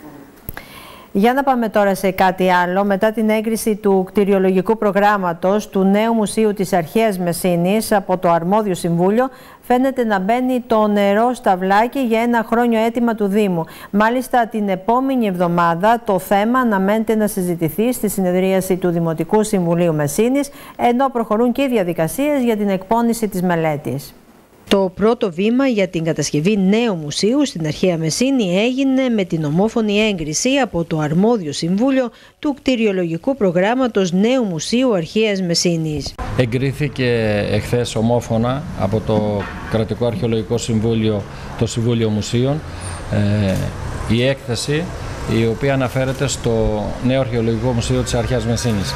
Είναι το πρώτο αλλά σταθερό βήμα που γίνεται προς την υλοποίηση αυτού του μεγάλου έργου που είναι στόχος δεκαετιών. Την επόμενη εβδομάδα αναμένεται σχετική απόφαση από το Δημοτικό Συμβούλιο Μεσίνης ενώ προχωρούν οι διαδικασίες προκειμένου να υπογραφεί η προγραμματική σύμβαση για την εκπόνηση της μελέτη. Με την απόφαση του Δημοτικού Συμβουλίου που θα πάρουμε την επόμενη εβδομάδα με την παραχώρηση, με τη δωρεάν παραχώρηση των οικοπαίδων του Δήμου για αυτό το σκοπό, προχωράμε ε, στην προγραμματική σύμβαση με την Περιφέρεια και το Υπουργείο Πολιτισμού για την εκπόνηση της μελέτης. Άρα το έργο αυτό πλέον έχει χρονοδιάγραμμα, είναι μια πραγματικότητα και είμαστε πολύ ευτυχείς γι' αυτό. Η Μεγαλόπολη θα αναδείξει τους πρωταθλητές μοτοσυκλέτας σε τρεις ηλικιακές κατηγορίες. 10 έως 12, 12 έως 14 και 13 έως 17 ετών. Ε, σε αυτές τις κατηγορίες βέβαια θα αναδείξουν τους αθλητές για το 2021 με αθλητές ε, και αθλήτριες από 23 χώρες και συνολικά 130 συμμετοχές, 17 εκ των οποίων από την Ελλάδα. Θα διεξαχθεί βέβαια το Παγκόσμιο Πρωτάθλημα Junior Motocross ε, του 2021 ε, αύριο 30 και 1η Αυγούστου στην καταξιωμένη πίστα της Μεγαλόπολης. Με 130 συμμετοχές αθλητών και αθλητριών από 23 χώρες θα διεξαχθεί το Παγκόσμιο Πρωτάθλημα Junior Motocross του 2021 για πρώτη φορά στην Ελλάδα και στην καταξιωμένη πίστα της Μεγαλόπολης. Στο μήνυμα που έστειλε από το Τόκιο, ο Υφυπουργός Αθλητισμού Λευτέρης Αυγενάκης χαρακτήρισε την ημέρα αυτή ευτυχή καθώς ο μηχανοκίνητος αθλητισμός εξυπηρετεί την προβολή της χώρας μας. Ενώ από την πλευρά του ο Περιφερειάρχης Πελοποννήσου ευχαρίστησε όλους και κυρίως τον Υφυπουργό για την ουσιαστική βοήθεια ώστε να είναι άρτιοι οι παγκόσμιοι αγώνες μότο για νέους που θα διεξαχθούν στη Μεγαλόπολη. Είναι μια σύγχρονη νεανική μότο Ολυμπιάδα η οποία προσελκύει όλο και περισσότερους αθλητές και αθλήτριες. Λες και φίλοι, πιστεύουμε στις μεγάλες διεθνείς διοργανώσεις. Η Ελλάδα μπορεί και τα καταφέρνει. Το Παγκόσμιο Πρωτάθλημα Junior Motocross είναι μια σπουδαία διοργάνωση. Όχι μόνο γιατί προσφέρει πλούσιο θέαμα, και διότι θα φιλοξενήσει εκατοντάδες ανθρώπους, αναβάτες, τεχνικούς, επιτελείς και ομάδες, συμβάλλοντας έτσι στην προβολή της Ελλάδος και στην τοπική οικονομία. Να είμαστε όλοι εκεί και για το αθλητικό γεγονός και γιατί η Μεγαλόπολη μας έχει ανάγκη. Ιδιαίτερα αυτό το καιρό με την απολιγνητοποίηση, με τη διαδικασία. Για σχέδιο, όραμα και αγαστή συνεργασία μίλησαν οι εκπρόσωποι της Περιφέρειας και της Πελοπόννησος ΑΕ. Η προσπάθεια δεν είναι να γίνει μόνο μια εκδήλωση, είναι να σταθεροποιήσουμε τη Μεγαλόπολη ως κέντρο και του μηχανοκίνητου αθλητισμού, αλλά ως κέντρο μιας σειράς δράσεων που τις οφείλουμε στο πλαίσιο της ε, διαδικασίας απολιγνητοποίησης. Η προσπάθεια είναι κοινή, είμαστε μαζί με το Δήμο και στο συγκεκριμένο γεγονός και σε όλη την προσπάθεια που γίνεται για όλη τη Μεγαλόπολη η χαρά της συμμετοχής των νέων αθλητών και για τον λόγο motocross, το οποίο έχουμε ηλικίες 12 έως 17 ετών, είναι η δύναμή μας και αυτό μας κάνει πιο πλούσιο. Ε, πιστεύω με την ε, συνδρομή της περιφέρειας των σωματείων ε, ιδιαίτερα των σωματείων και των εθελοντών, ιδιαίτερα των δύο σωματείων της ε, Άλμα και του Άρη, ε, η επιτυχία θα είναι δεδομένη. Εγώ πρώτη φορά πήγα και επισκέφθηκα τη Μεγαλόπολη και ειδικά την πίστα και εντυπωσιάστηκα και πράγματι αυτό πρέπει να αναδειχθεί για την επόμενη μέρα. Ένα πετραδάκι όπως είπε και ο Δήμαρχος σε αυτό που θα πρέπει να συμβεί στη Μεγαλόπολη. Είναι μια ευκαιρία να προβάλλουμε την πόλη μας σε όλο τον κόσμο. Είναι μια ευκαιρία να δείξουμε τα αξιοθέατα της περιοχής που έτσι κι αλλιώς μέσω αυτής της διαδικασίας θα προταθούν και είναι μια ευκαιρία μεγάλη να τονίσουμε το μεγάλο πρόβλημα που έχει η περιοχή μας με την απολιγνητοποίηση. Στην κοινή προσπάθεια για την επιτυχία των αγώνων στάθηκε η πρόεδρος της ΑΜΟΤΟΕ και οι εκπρόσωποι των διοργανωτών σωματείων. Την Ελλάδα μας εκπροσωπούν 17 παιδιά που συμμετέχουν σε όλες τις κατηγορίες MX65, MX85 και MX125 και θα ήθελα από αυτό το βήμα να τους ευχηθώ καλή επιτυχία. Η Ομοσπονδία θα κάνει το καλύτερο δυνατό ώστε να έρθουν και άλλες τέτοιες διοργανώσεις στην Ελλάδα που προβάλλουν την Ελλάδα και βοηθούν την τοπική κοινωνία. Το σωματείο μας, σαν και μικρό, κατάφερε ένα μεγάλο όνειρο να ξαναφέρει παγκόσμιο σε Μεγαλόπολη. Δεν είναι ένας αγώνας, είναι το παγκόσμιο πρωτάθλημα, το οποίο διεξαγάγεται επειδή είναι παιδιά τα οποία δεν μπορούν να ταξιδεύουν όλο τον χρόνο, σε μία διοργάνωση με δύο αγώνες κάθε μέρα. Έτσι λοιπόν, μόλις τελειώσει αυτό, την Κυριακή το απόγευμα αμέσως θα χειροκροτήσουμε τους νεαρούς παγκόσμιους πρωταθλητές του 2021. Να πάμε τώρα σε κάτι άλλο. Ε, η Συντονιστική Επιτροπή Εορτασμού των 200 χρόνων από την Επανάσταση του 1821 στο Ψάρι Μεσσηνίας διοργανώνει εκδηλώσεις για αυτό τον εορτασμό. Ε, στο πλαίσιο λοιπόν αυτό θα γίνει παρουσίαση των βιβλίων στο Ψάρι από συγγραφείς ε, που κατάγονται από το ίδιο το χωριό. Είναι μαζί μας οι δύο συγγραφείς που θα παρουσιάσουν τα βιβλία τους η κυρία Φλωρεντία Ρίγα, η οποία είναι διδάκτορ φιλολογίας και λογοτέχνης και ο κύριος Χρήστος Παπαγεωργίου, φυσικός και συγγραφέας. Καλώς ήρθατε στην εκπομπή μας. Καλησπέρα κύριε Ευχαριστούμε πολύ για την πρόσκληση. Να είστε καλά. Ε, να, καταρχήν να ξεκινήσουμε με εσάς, ε, κυρία Ρίγα. Ε, Πώς αποφασίσατε να γράψετε, ε, νομίζω ότι είναι και το πρώτο σας βιβλίο, ε, έχει τίτλο Γιαννάκης Γκρίτζαλης, «Ιστορία ενός ελεύθερου ανθρώπου». Ε, καλησπέρα. Έχω ξεκινήσει να γράψω, έχω γράψει και άλλα βιβλία. Α, αλλά... και άλλα, ναι. Αυτό είναι, ιστορι... είναι το πρώτο ιστορικό σας ή είναι όλα... Είναι το πρώτο βιβλίο που αφορά ε, σε ιστορικό περιεχόμενο, ωστόσο συνδυάζει ιστορία με μυθοπλασία. Τα προηγούμενα ήταν μια ποιητική συλλογή, αποχρώσης μιας έλλειψης και ένα παραμύθι στην ουσία για παιδιά, το άνοιγμα του κοκκινολέμη. Αυτή τη φορά προσπαθώ να αποτυπώσω ε, τους βασικούς σταθμούς της ζωής ενός σημαντικού ε, εθνικού αγωνιστή του 1821 και προτεργάτη της Μεσηνικής Επανάστασης του 1834, του Γεννάκη Γκρίτζαλη. Ε, η αρχική αφορμή για την ε, συγγραφή του βιβλίου ήταν η διαπίστωση ότι ήταν προπάπος της γιαγιάς μου, της Φλωριδίας Γκρίτζαλη, ε, και αναζητώντας την ιστορία της οικογένειάς μου, ε, βρέθηκα στα χνάρια της εκείνης ιστορίας του Γιαννάκη Γκρίτζαλη. Διαπίστωσα στη συνέχεια πόσο λίγο γνωστή είναι αυτή η ιστορία, καθότι δεν διδάσκεται ε, στα σχολεία, καθότι η επίσημη ιστορία την έχει παραβλέψει στην ουσία και θεώρησα ελάχιστο χρέος μου έτσι και σαν είδος φόρου τιμής ε, σε αυτόν τον άνθρωπο και ήρωα ε, και κατά επέκταση και τους δρέδες που επίσης το έργο τους και η συνεισφορά τους είναι παραγνωρισμένοι ε, οι οποίοι θυσίασαν τη ζωή τους και την ε, ε, αφιερώθηκαν πραγματικά ανιδιοτελώς στην υπηρεσία της ελευθερίας μας. Και βέβαια το βιβλίο αυτό θα παρουσιαστεί στην εκδήλωση που διοργανώνει εκεί η Επιτροπή ε, και θα παρουσιαστεί στον τόπο που έγιναν και τα γεγονότα. Ακριβώς. Ε, επί τη ευκαιρία θα ήθελα να ευχαριστήσω θερμά και την Συντονιστική Επιτροπή Ψαρίου ε, για τον εορτασμό των 200 χρόνων από την έναρξη της Επανάστασης και προσωπικά τον κύριο Μίλτο Γευτόπουλο για όλη τη στήριξη στο έργο μου από την αρχή. Ε, είναι ιδιαίτερα συγκεντρωτικό για μένα να ε, παρευρεθώ σε αυτή την παρουσίαση ε, στην γενέτειρα του ήρωα του Γεννάκη του Γκρίτζαλη ε, και πιστεύω ότι θα είναι πολύ ενδιαφέρον και για τις νεότερες γενιές να ακολουθήσουν αυτό το ταξίδι, το λογοτεχνικό, ώστε και ο μη πληροφορημένος έτσι, αναγνώστης να συνειδητοποιήσει ε, τη συνεισφορά αυτών των ηρώων. Ε, κύριε Παπαγεωργίου, εσείς ε, θα παρουσιάσετε το βιβλίο με τίτλο «Ηριδισμοί σε αμφίπλευρους καθρέπτες». Για πείτε μας ε, για αυτό το βιβλίο. Αυτό είναι μια ποιητική συλλογή. Ε, η, ιστορία, η ιστορία με την ποίηση είναι πάρα πολύ παλιά. Γράφω κυρίως ποίηση. Ε, από πετσά γράφω μόνο άρθρα.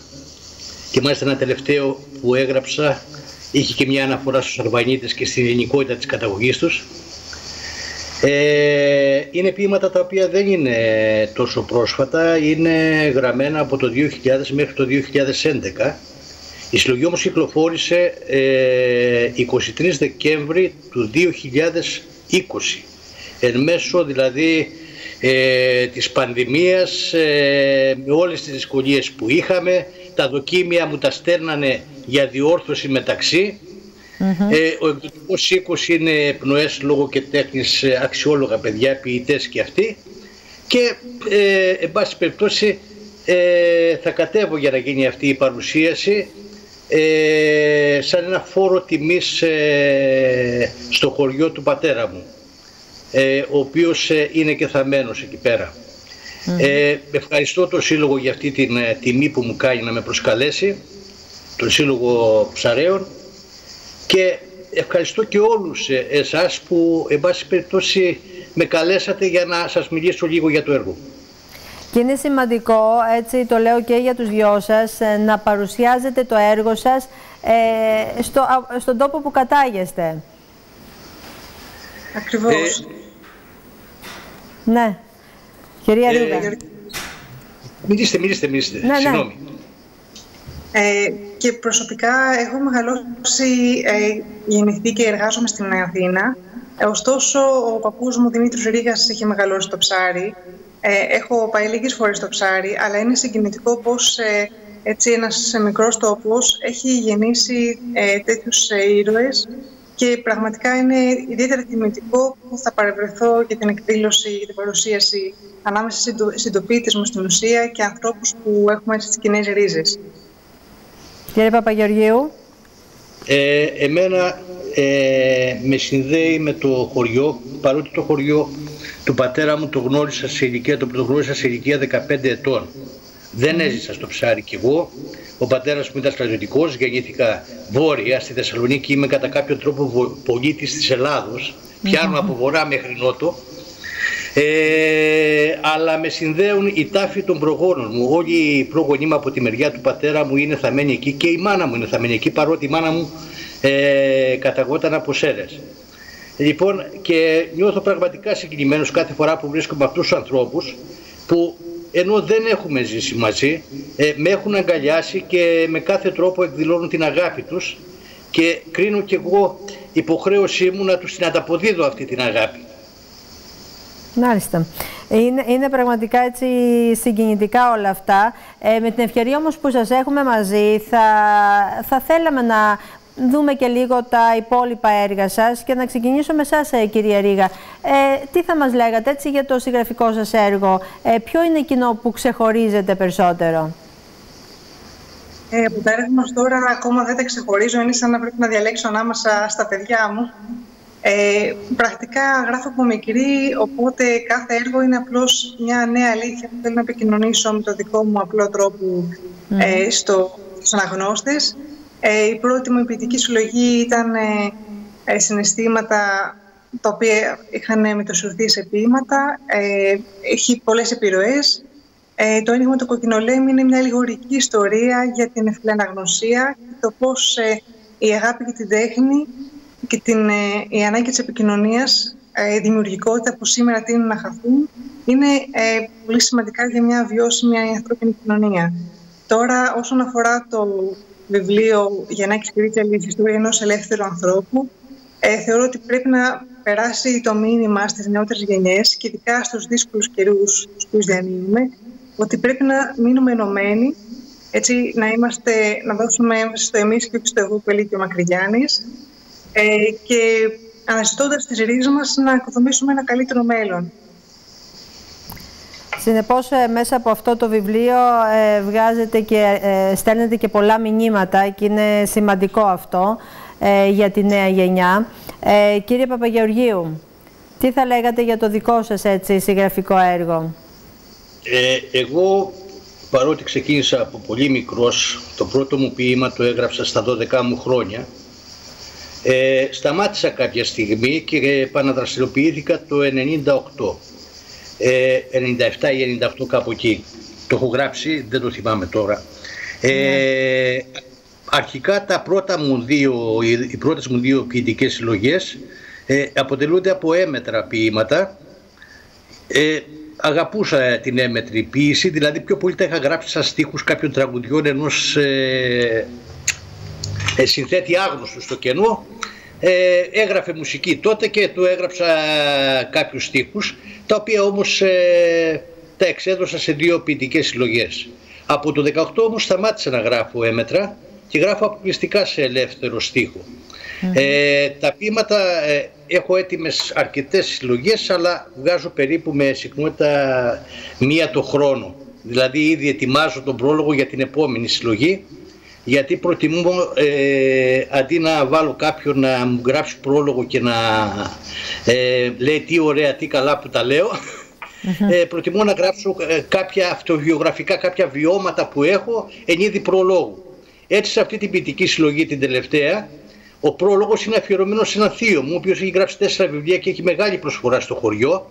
Είναι αυτός μάλιστα που ανακάλυψε τους στολωτούς τάφους επάνω στο Μετσίκι, ο Γιώργος Παπαγεωργίου και έχω τον πρόλογο αφιερωμένο σε αυτόν, όπου παρουσιάζω το έργο του και παρουσιάζω γενικά την όλη δραστηριότητά του.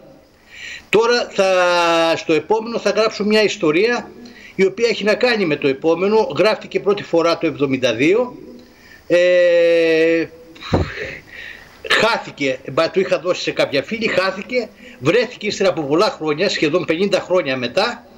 Και όταν το διάβασα λέω τι αειδίες είναι αυτές που έγραφα και το ξανάγραψα και θα είναι αυτό το επόμενο βιβλίο. Μάλιστα.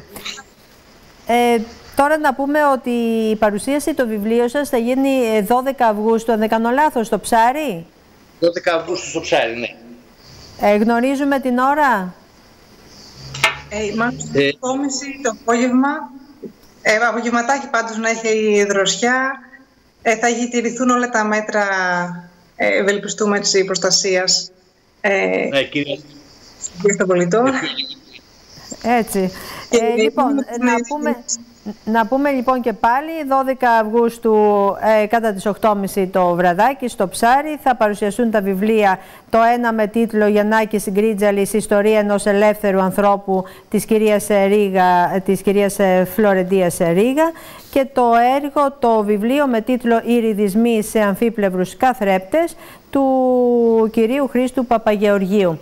Να σας ευχαριστήσουμε που είσαστε μαζί μας και να ευχηθούμε καλοτάξιδα τα βιβλία σας. Ε, εμείς ευχαριστούμε. Απλά ε, θα ήθελα να συμπληρώσω κάτι πάνω στον Βεβαίως. Γιαννάκη του. Ο Γιαννάκης ο Γκρίτζαλης ήταν από τους σπουδαιότερους οπλαρχηγούς του αγώνα. Ήταν σύντροφος του Κολοκοτρώνη, ακολούθησε πιστά τον Κολοκοτρώνη, καταδικάστηκε μόνο που δεν είχε την τύχη του Κολοκοτρώνη να την γλιτώσει και εκτελέστηκε. Ε, δηλαδή είχε ένα άδοξο τέλος, ένας μεγάλος οπλαρχηγός που δεν το άξιζε αυτό το τέλος. Και το άγαλμά του είναι στην κεντρική πλατεία του χωριού ε, για να μας θυμίζει ε, έναν ε, απόγονο των ένδοξων τρέδων. Ε, τα λέω καλά κυρία Ρίγα, εσείς είστε φιλόλογος, εγώ είμαι εντελώς... Ε...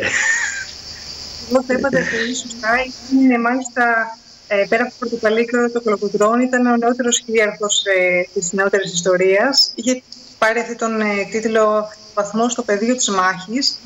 Ε, μάχης όπως οι άλλες της Τριπολιτσά, στο Βαλτέτσι. Ε, τώρα μην ε, μακρηγορούμε, αλλά πραγματικά ο ρόλος ήταν ε, αντεμφισβήτητος και στη Μεσηνική Επανάσταση, πρωτεργάτης και στην, ε, ε, στο έπος της Εθνικής Παλαιγενεσίας. Οπότε πρέπει να τον τιμούμε και να διορθώσουμε το λάθος, να το πούμε, τον, ε, της εποχής, να τον καταδικάσει άδικα ή τις επίσημες ιστορίες να τον ε, παραβλέψει. Ε, με την δικιά μας τάση, όντας ε, φορείς σε αυτό το ελεύθερο φρονήματος που έχει ο ίδιος έτσι, και μεταδίδοντας ε, την ιστορία του, κάνοντας γνωστό το έργο και την συνεισφορά του και στις νεότερες γενιές. Να είστε καλά, σας ευχαριστούμε και πάλι. Καλή συνέχεια και καλό καλοκαίρι σας ευχόμαστε. Να είστε καλά, καλό καλοκαίρι. Να είστε καλά, γεια σας. Να πάμε τώρα στην αίθουσα σύνταξης και στη συνάδελφο τη Σύση την Τριάντου. Σύση, καλησπέρα. Καλησπέρα, Δέσποινα. Ε, Σύση, να ξεκινήσουμε με ένα εργατικό ατύχημα που έγινε στην Κυπαρισία. Ναι, ε, το συμβάν έλαβε χώρα κατά τη διάρκεια οικοδομικών εργασιών σε πέτρινο σπίτι στην περιοχή της Κυπαρισίας. Ε, ο, ο άνδρας ο οποίος ε, τραυματίστηκε, χτύπησε στο κεφάλι, άμεσα έσπευσε, εκλήθη το, το ΕΚΑΒ, έσπευσε το ασθενοφόρο, τον ε, μετέφερε στο νοσοκομείο προκειμένου να του παραχθούν οι ε, πρώτες βοήθειες. Ε, μέχρι στιγμής αυτά είναι τα δεδομένα. Mm Αναμένουμε να δούμε ποια είναι η κατάσταση της υγείας του. Δυστυχώς είναι και αυτά μέσα στη. Να, να ευχηθούμε να πάνε όλα καλά για τον άνθρωπο και να πάμε στο επόμενο θέμα. Ε, ποια επιδόματα καταβάλλονται αύριο 30 Ιουλίου, Σύση; Είναι μια πληθώρα επιδομάτων, Δέσποινα. ε, ξεκινάμε από το επίδομα παιδιού, το οποίο, για το οποίο δικαιούχοι είναι περισσότεροι από 753.000 συμπολίτες μας. Μιλάμε για άνω των 172.000 ευρώ. Ε, το ελάχιστο εγγυημένο εισόδημα με δικαιούχους 230 και πλέον, ε, το επίδομα αναπηρίας 172-369 οι δικαιούχοι συγκεκριμένα, επίδομα στέγασης, επίδομα στεγαστικής συνδρομής, ε, η γέννησης, δικαιούχοι περίπου 12.000 συμπολίτες μας, επίδομα αναδοχής ομογενών, ανασφάλιστων υπερηλίκων. Εδώ να σου πω ότι οι δικαιούχοι είναι περισσότεροι από 19.000 υπερήλικες. Το επίδομα κοινωνικής αλληλεγγύης υπερηλίκων με περισσότερους από 15.000. Ακόμη και για έξοδα κηδείας, δικαιούχοι 129. Και να σου πω, υπάρχει συνεισφορά δημοσίου, το πρόγραμμα Γέφυρα με δικαιούχους 73.707, περίπου 20 εκατομμύρια ευρώ, λίγο περισσότερα, και η συνεισφορά του δημοσίου ως προς τα κόκκινα δάνεια με 2.850 δικαιούχους που θα λάβουν 179.000 ε, στο σύνολο. Προστατευόμενα τέκνα θανόντων σε φυσικές καταστροφές 6 δικαιούχοι 6.000 ευρώ και ένα σύνολο δικαιούχων ε, ενός εκατομμυρίου 530, 880 και ένα σύνολο καταβολών 368 ε, εκατομμυρίων 56.984 ευρώ. Αρκετά είναι τα χρήματα τα οποία θα δοθούν αύριο, Παρασκευή, 30 κατηγορίες των δικαιούχων. Ε, εντάξει, θα ζεσταθεί λίγο η τσέπη αρκετών ε, πολιτών. Είναι Τέλος σημαντικό του μήνα αυτό. είναι δέσποινα, υποχρεώσεις υπάρχουν, τρέχουν, Έτσι. οπότε έρχεται σαν ανακούφιση. Σύση, τώρα ε, τι θα γίνει, θα βουλιάξουμε από επισκέπτες το 15 Αύγουστο, πώς είναι τα πράγματα; Το είχαμε ξαναπεί, το λέμε και πάλι. Είμαστε ένας από τους ε, προορισμούς που νομίζω προσελκύει όχι μόνο ντόπιους, όχι μόνο ε, κάτοικους της Αττικής του ναι. Λεκανοπεδίου, αλλά και ξένους. Είμαστε ασφαλής προορισμός, έχουμε το, το οδικό δίκτυο, το οποίο συνεχώς βελτιώνεται μέσω παρεμβάσεων. Έχουμε τις ξενοδοχειακές μονάδες που επίσης παίζουν σπουδαίο ρόλο το αεροδρόμιο φυσικά ε, και σύμφωνα τώρα έτσι με μια τελευταία έρευνα της, ε, του Πανελληνίου Δικτύου ε, τον, του e-Real Estate η, το 15 Αύγουστο θα αποτελέσουμε και πάλι έναν κορυφαίο προορισμό σε επίπεδο Πελοποννήσου. Γενικά οι παραθαλάσσιες περιοχές είναι στην κορυφή των προτιμήσεων. Ε, μιλάμε για πληρότητες που θα αγγίξουν από το 90%, 90% έως και το 100% αναπεριοχές. Ε, νομίζω ότι η φετινή χρονιά θα ξεχωρίσει λίγο σε σχέση με το 2020 και θα έχουμε περισσότερους ε, τουρίστες. Ε, οι υπηρετικοί γενικά προορισμοί είναι αυτοί λόγω της προσβασιμότητας οι οποίοι κερδίζουν τις εντυπώσεις. Η Μεσσηνιακή Μάνη, η Μεσσηνία γενικότερα. Η Κορινθία επίσης έχει, βρίσκεται ψηλά στις προτιμήσεις. Ε, Λέχιο, Ξυλόκαστρο, Κιάτο και Λουτράκι και η Αχαΐα. Η Πελοπόννησος νομίζω ότι θα κερδίσει το στίχημα σε αυτή την, τουλάχιστον την ε, περίοδο. Μιλάμε για ένα εξαήμερο για το οποίο να σου πω επίσης ότι το κόστος ποικίλει. Μπορεί να ξεκινήσει από 500 ευρώ για τις 6 μέρες και μπορεί να φτάσει ανάλογα την περιοχή, αν είναι νησιωτικός ιδιαίτερα προορισμός, όπως για παράδειγμα η Μύκονος, μέχρι και 2.400 ευρώ. Ανάλογα το, το πορτοφόλι του ναι, καθενός, ναι. την προτίμησή του, το πόσο θέλει, και τι θα επιλέξει, να φτάσει. Ναι.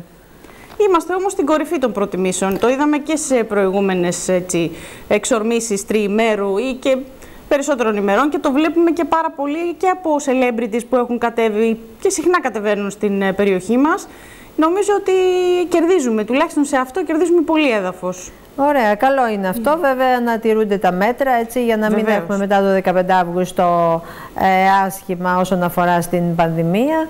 Ε, είναι αυτό η άλλη όψη του νομίσματος Δέσποινα. Έτσι. Όλα έτσι με μέτρο και με προσοχή πάνω απ' όλα. Πάντα, Εσείς να σε ευχαριστήσουμε και να πάμε εμείς κυρίες και κύριοι σε ένα σύντομο διαφημιστικό διάλειμμα και επιστρέφουμε πολύ σύντομα.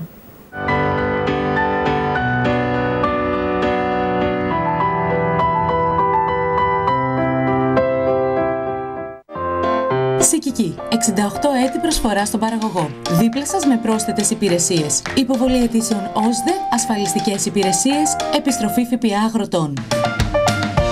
Σας περιμένουμε στο νέο μας κατάστημα στη Μεσίνη. Σικική. Συνεχίζουμε μαζί. Σπούργοι της Τρανς. Μεταφορές από το 1943. Καναδάς, Αυστραλία, Αμερική, Ευρώπη, Αθήνα. Παντού δίπλα σας. Μεταφορά ελαιολάδου και δεμάτων. Χρόνια τώρα στηρίζουμε τους παραγωγούς και μεταφέρουμε το ελαιόλαδό σας παντού. Σπούργοι της Τρανς. Τώρα και μεταφορά ευπαθών προϊόντων σε ελεγχόμενη ψήξη. Ανταποδίδουμε την εμπιστοσύνη σας με νέες μειωμένες τιμές. Σπουργή της Τρανς, Λεωφόρος Αθηνών 186. Τηλέφωνο 27210 22 266.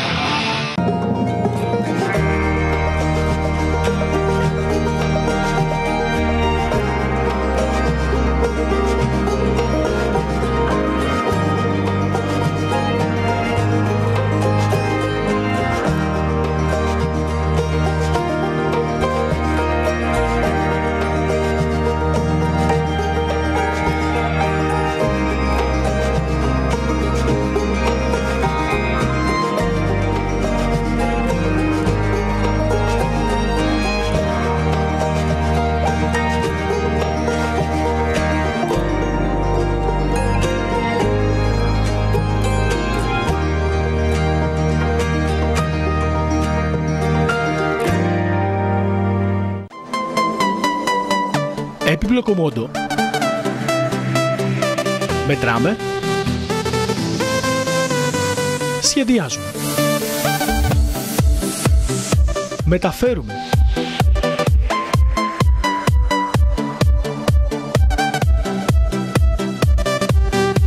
Τοποθετούμε.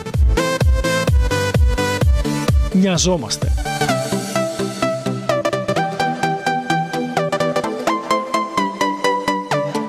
Έπιπλο κομμόντο.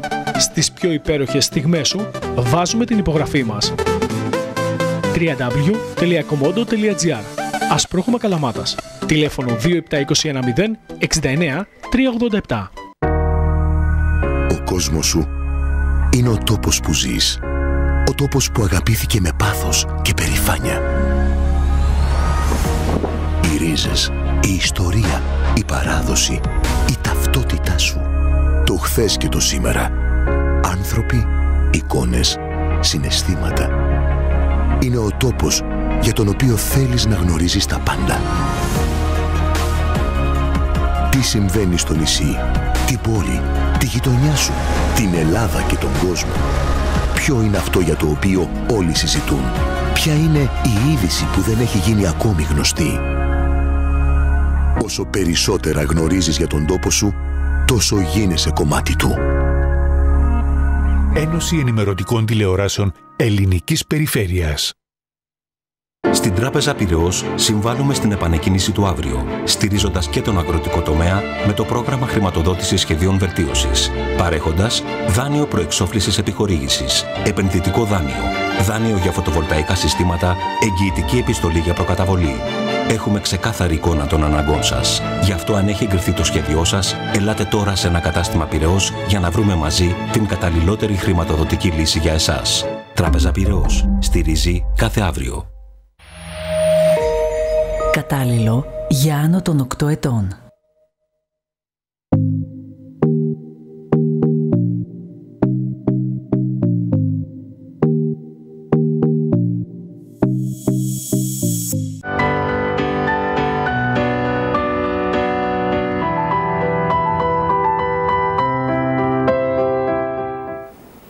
Επιστρέψαμε, είμαστε και πάλι εδώ και θα συνεχίσουμε με ένα σημαντικό θέμα. Ένα θέμα που πραγματικά προβληματίζει το τελευταίο καιρό ε, και είναι αυτό της έξαρσης της έμφυλης βίας ε, υπάρχει τρόπος να βοηθηθούν αρκετές γυναίκες που αντιμετωπίζουν προβλήματα γιατί εδώ στην Καλαμάτα κάνει μια πολύ σημαντική δουλειά το Συμβουλευτικό Κέντρο Γυναικών Θυμάτων Βίας ε, και βέβαια έχουμε εδώ την χαρά να φιλοξενούμε σήμερα την κυρία Βασιλική ε, Κατσίποδα η οποία είναι κοινωνιολόγος του κέντρου. Καλώς ήρθατε. Καλώς σας βρήκαμε και ευχαριστούμε για την πρόσκληση. Και την κυρία Δήμητρα Μιχαλοπούλου η οποία είναι ψυχολόγος. Καλώς ήρθατε. πολύ για την πρόσκληση. Το τελευταίο διάστημα είδαμε πάρα πολλά, δυσάρεστα δυστυχώς, ε, γυναικοκτονίες ε, που μας προβληματίζουν ιδιαίτερα. Τι θα λέγατε πάνω σε αυτό; Ε, να πούμε λίγα πράγματα πρώτα, πρώτα απ' όλα για το φαινόμενο αυτό, το ναι. οποίο είναι ένα κοινωνικό κατά βάση φαινόμενο και αποτελεί την πιο ακραία μορφή έμφυλης βίας, δηλαδή της βίας η οποία εδράζεται στο φύλλο ε, βιολογικό και κοινωνικό.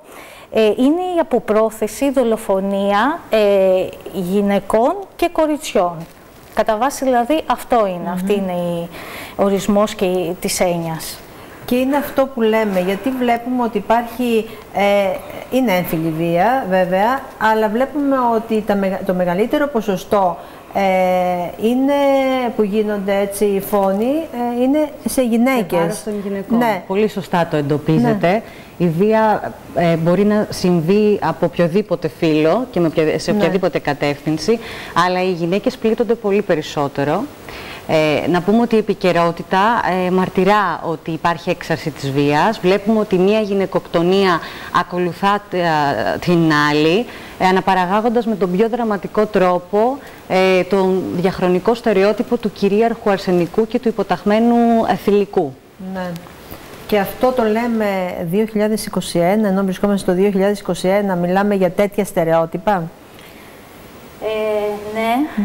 Ναι, μιλάμε ακόμα γιατί κατά βάση ε, και η ελληνική κοινωνία είναι παραδοσιακή, αλλά ακόμα αυτά τα στερεότυπα μπορούμε να πούμε ότι τα συναντούμε ακόμα και στον αγγλοσαξονικό χώρο, παρόλο που εννοείται και ουσιαστικά και θεσμικά και νομικά έχουν προχωρήσει πάρα πολύ ε, προς την ισότητα των δύο φύλων. Και σε αυτό το σημείο να πω ότι έχει βοηθήσει πάρα πολύ ε, η Ευρωπαϊκή Ένωση με τις πολιτικές της και γενικότερα με τις αξίες που έχει εμφυσίσει ε, συλλογικά σε όλα τα κράτη-μέλη.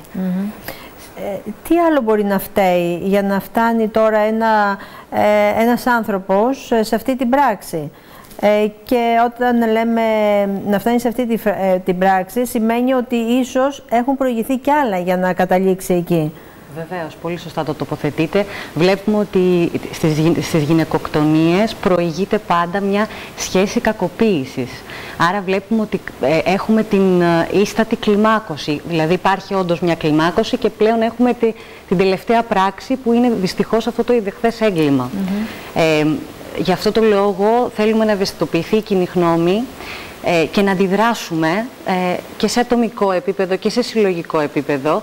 Χρειάζεται να σταματήσουμε να κλείνουμε τα αυτιά μας, τα μάτια μας σε οποιαδήποτε μορφή βίας. Προτού φτάσουμε πλέον να γινόμαστε μάρτυρες τέτοιων ε, καταστάσεων. Και τότε θα είναι, είναι πολύ αργά, είναι δυστυχώς. Είναι πάρα πολύ αργά. Κάνουμε κάπου λάθος. Κάπου μεγαλώνουμε λάθος τα παιδιά μας κάπου δεν ε, εξηγούμε και στα κορίτσια μας κάποια πράγματα. Τι γίνεται; Το θέτετε πολύ σωστά. Είναι πολύ σημαντικό εδώ το κομμάτι των στάσεων και των πεπιθήσεων που διαμορφώνουμε. Ε, όπως προείπε και η συνάδελφος, η ελληνική κοινωνία είναι κατά βάση μια πατριαρχική κοινωνία. Η θέση της γυναίκας είναι δυστυχώς πολύ υποτιμημένη. Έχουν γίνει γενναία βήματα, αλλά ακόμα έχουμε πάρα πολύ δρόμο. Το καταλαβαίνουμε από τα σχόλια που μπορεί να ακούσουμε στο δρόμο. Όλες μας θεωρώ ότι έχουμε ναι, ναι. πέσει θύματα κακοποίησης. Θέλω να πω ε, ως εξιστικός λόγος. Η προσπάθεια, η, η διπλάσια που πρέπει να κάνει μια γυναίκα στον, στον εργασιακό χώρο για να καθιερωθεί, για να τη σεβαστούν. Ε, όλα αυτά τα ε, οι διακρίσεις που υπάρχουν ε, σε σχέση με το πώς θα αντιμετωπιστεί εκείνη και ο, πώς θα αντιμετωπιστεί ένας άνδρας. Η αλήθεια είναι ότι βλέπουμε ότι πρέπει ε, είναι απαραίτητο κρίσιμη σημασία να μεγαλώνουμε έτσι τα, τα κορίτσια μας σε έναν κόσμο, σε ένα σύστημα το οποίο να μην επιτρέπει ε, τέτοιου είδους συμπεριφορές αλλά και τις ίδιες να μην το ανέχονται. Αυτό, ναι βέβαια. Ε, να μην το ανέχονται γιατί ε, στο τέλος είναι εις βάρος τους. Αυτό θα πρέπει να τονιστεί. Παρακαλώ, ε, να κάνω μια παρέμβαση. Αυτό είναι εις βάρος τους βασικά, είναι εις βάρος όλης της κοινωνίας. Και αυτό πρέπει να καταλάβουμε. Ότι η έμφυλη βία δεν αφορά μόνο τις γυναίκες. Αφορά το σύνολο της κοινωνίας. Και είναι προς το, προς το συνολικό συμφέρον ε, να προαχθούν σωστά και υγιή πρότυπα ε, μεταξύ των, ε, στη σχέση μεταξύ των δύο φύλων. Και ε, θεωρώ ότι παίζει σημαντικό ρόλο πώς μεγαλώνουμε και τα αγόρια μας, έτσι. Ε, γιατί από εκεί ξεκινάει το πώς ε, βιώνει κάποια πράγματα μέσα στην οικογένεια, ε, μέσα στο σχολείο και περαιτέρω... Ακριβώς, η οικογένεια και το σχολείο ως πρώτος και δεύτερος φορέας κοινωνικοποίησης είναι πάρα πολύ σημαντική στα πρώτα βήματα ενός παιδιού, είτε είναι αγόρι είτε είναι κορίτσι. Και πρέπει σε μερικά πράγματα να σταματήσουμε και αυτές τις διακρίσεις, γιατί ε, όπως... Ε, από έρευνες, μελέτες και επιστημονικά ε, άρθρα. Ε, δεν υπάρχει το, βιο, ε, το, το φύλλο, είναι κοινωνικά κατασκευασμένο. Δεν είναι μόνο βιολογικά, είναι και κοινωνικά. Είναι, δηλαδή έχει να κάνει με όλες αυτές τις αντιλήψεις, τις αξίες που, που έτσι προάγουμε ως κοινωνία. Ε, τι πρέπει να κάνουμε τώρα, εκεί είναι, το ζητούμενο, γιατί ε, αυτό δεν θα σταματήσει αν δεν υπάρχουν αντιδράσεις και αντιδράσεις προς τη σωστή κατεύθυνση. Πολύ σωστά. Όσο αντιδρούμε, κάνουμε κάτι γι' αυτό. Όσο ε, δεν αντιδρούμε και είμαστε παθητικοί δέκτες όλης αυτής της κατάστασης, δεν αλλάζει τίποτα. Και είναι γνωστό ότι η αποσιώπηση δυναμώνει το φαινόμενο. Η βία για να ε, σπάσει χρειάζεται πραγματικά να βγει στην επιφάνεια. Και υπάρχει βία, είναι πάρα πολύ έντονη, το βλέπουμε και στην πόλη μας. Εμείς έχουμε ε, αυξημένη... Ε, ε, τέτοια ναι, τέτοια, ναι, ναι, έχουμε αυξημένη ε, στις γυναίκες, έτσι βλέπουμε, ναι. περιπτωσιολογία. Ε, σίγουρα η κατάσταση έτσι με τον κορονοϊό και όλες αυτές, ναι, όλες αυτές οι, τα μέτρα και οι mm -hmm. υγειονομικές συνθήκες επιδίνωσαν το φαινόμενο. Ε, είναι, είναι απαραίτητο να δράσουμε. Mm ε, εσάς ε, τώρα στο κέντρο έρχονται περισσότερα περιστατικά μετά την πανδημία; Ε, μέσα στην πανδημία είμαστε ακόμα, λέμε μετά. Ναι, ναι, ναι. Ε, περάσαμε έτσι όλη αυτή την κατάσταση, φάση. τη δύσκολη φάση που έπρεπε ναι. να είμαστε μέσα στο σπίτι. Ε, το φαινόμενο σίγουρα υπήρχε πριν, υπάρχει τώρα και δυστυχώς θα υπάρχει. Έχει ενταχθεί λόγω του εγκλισμού και όλης αυτής της περιοριστικής κατάστασης ε, και έχει, ναι, έχει δείξει ένα έτσι, αυξητικό ποσοστό. Ναι. Ε, τώρα τα περιστατικά που απευθύνονται στο κέντρο, ε, σε τι κατάσταση βρίσκονται, δηλαδή απευθύνονται και ζητάνε τι; Υπάρχουν καταρχάς. Εμείς ανταποκρινόμαστε στις ανάγκες της κάθε γυναίκας. Ναι. Έχουμε πει πολλές φορές ότι δεν κατευθύνουμε, ακούμε το αίτημά τους και προσπαθούμε να ανταποκριθούμε σε αυτό. Ε, οι γυναίκες που μπορεί να απευθυνθούν σε εμάς ανήκουν σε οποιοδήποτε κοινωνικό, οικονομικό στάτους. Μπορεί δηλαδή να έχουν κοινωνικά θέματα, να αντιμετωπίζουν ανεργία, ε, οπότε να είναι πολύ ευάλωτες ως προς αυτό το κομμάτι. Μπορεί όμως και όχι. Ναι. Ε, τα αιτήματα που μπορεί να έχουν κατά κύριο λόγο είναι η ψυχολογική στήριξη, η κοινωνική στήριξη, η νομική στήριξη. Πολύ βασικό, το καταλαβαίνουμε ειδικά όταν υπάρχουν έτσι, ε, ε, καταστάσεις κακοποίησης από τον σύντροφο, σύζυγο ή και από οποιοδήποτε άλλο μέλος. Η κακοποίηση μπορεί να προέλθει και από, το, από ένα συγγενικό πρόσωπο ναι. του ίδιου ναι, φίλου. Ναι, ναι, Εμείς είμαστε εκεί για να στηρίξουμε τη γυναίκα. Δουλεύουμε πάνω στο τραύμα αυτών των γυναικών, επάνω στο κομμάτι της ενδυνάμωσής τους, επάνω στο να ε, διεκδικήσουν ε, αυτά που επιθυμούν, να θέσουν όρια και να καταφέρουν έτσι να αναλάβουν την ευθύνη του εαυτού τους. Ε, εξάλλου να πούμε ότι στο σημείο αυτό ότι τα έμφυλα στερεότυπα είναι και από άνδρες και από γυναίκες. Δηλαδή και οι γυναίκες μπορούν να έχουν αυτά τα έμφυλα στερεότυπα. Άρα απευθύνονται σε εσάς και άντρες που έχουν ε, τέτοια θέματα, μπορούν να απευθύνονται, έχουν απευθυνθεί μέχρι τώρα; Ε, για πληροφόρηση ναι, ναι. για τρίτο πρόσωπο ναι. Αλλά το κέντρο μας είναι αποκλειστικά για, για γυναίκες, ενήλικες, 18 ετών και άνω, οι οποίες έχουν αντιμετωπίσει στο παρελθόν ή αντιμετωπίζουν τώρα στο παρόν οποιασδήποτε μορφής βία γιατί είναι και πολλές οι μορφές δυστυχώς, σωματική, ψυχολογική, λεκτική, οικονομική, πολύ σημαντική και οικονομική. Είναι εύκολο, μάλλον ε, κάνουν εύκολα το επόμενο βήμα να φύγουν από αυτή την κατάσταση; Δεν είναι εύκολο. Έχει ένα μεγάλο δρόμο που χρειάζεται να διανύσουν. Ε, λαμβάνουν όμως ε, η ενημέρωση που θα λάβουν και η δουλειά που θα γίνει σε υποστηρικτικό επίπεδο, ε, συμβουλευτικά και θεραπευτικά, ε, ρίχνει ένα σπόρο ο οποίος μπορεί να μην ευδοκιμήσει στο άμεσο μέλλον, στο εγγύς μέλλον, αλλά μπορεί να ευδοκιμήσει μέσα στην πορεία του χρόνου και αυτό είναι πάρα πολύ σημαντικό. Βεβαίως, είναι σημαντικό γιατί. Ναι, παρακαλώ. Ναι, ακριβώς να συμπληρώσω ότι είναι πολύ σημαντική η ενημέρωση και ευαισθητοποίηση γενικά. Και πέρα από την αντιμετώπιση του φαινομένου, ε, σκοπός του κέντρου είναι και η γενικότερη ενημέρωση του ευρύτερου κοινού. Ε, και είναι σημαντικό να γνωρίζουν οι γυναίκες ότι υπάρχει ένα κέντρο που μπορούν να απευθυνθούν για οτιδήποτε και πάντα βέβαια με χεμήθεια. Και πάντα, πάντα. Να ακουστούν, ναι. να, να, σε, να, να σεβαστούμε την προσωπικότητά τους, την ατομικότητά τους και φυσικά τηρώντας απόλυτη ναι, ναι. εχεμήθεια όλες οι υπηρεσίες μας διέπονται αυστηρά από το απόρριτο της συμβουλευτικής. Έχουν έρθει περιστατικά σε εσάς που είναι πάρα πολύ δύσκολα, δηλαδή ε, που χρειάζονται έτσι μια πολύ σοβαρή στήριξη πέρα από την ενημέρωση; Ε, οι περισσότερες περιπτώσεις είναι έτσι θα έλεγα. Ναι. Ε, η ενημέρωση ε, είναι αρρωγός στο να αναγνωρίσει τι δικαιώματα έχει μια γυναίκα, να καταλάβει τι μπορεί να αξιοποιήσει, γιατί πολλές φορές βλέπουμε ότι δυστυχώς παραπληροφορείται και από το σύστημα. Δηλαδή θα απευθυνθεί ε, σε φορείς οι οποίοι θα την παραπληροφορήσουν, δεν θα την ενημερώσουν σωστά. Γι' αυτό προσπαθούμε έτσι να ενημερώνουμε όσο μπορούμε και το, το κομμάτι στο κομμάτι των φορέων μέσα από τη συνεργασία μας. Γιατί τότε η γυναίκα ε, μη αναγνωρίζοντας τα δικαιώματά της, πέφτει σε λάθη τα οποία στοιχίζουν, τη στοιχίζουν πάρα πολύ. Και βέβαια το θέμα είναι να μην τη στοιχίζουν τη ζωή της, γιατί ε, βλέπουμε τα τελευταία περιστατικά και πραγματικά μας έχουν ε, όλους θορυβήσει.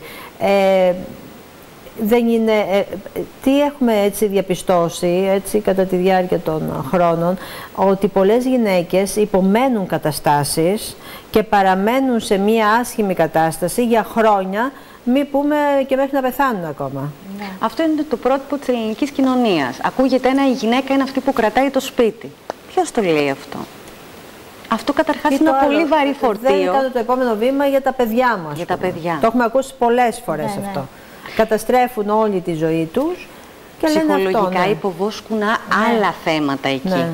Ναι. Τα οποία μέσα από την στήριξη που θα γίνει, το κομμάτι το πιο θεραπευτικό, ε, θα υπάρξει ευκαιρία να έρθει η γυναίκα σε επαφή με αυτά μέσα από την εστίαση στη βαθύτερη κατανόηση του εαυτού, στη βαθύτερη κατανόηση των διαπροσωπικών της σχέσεων.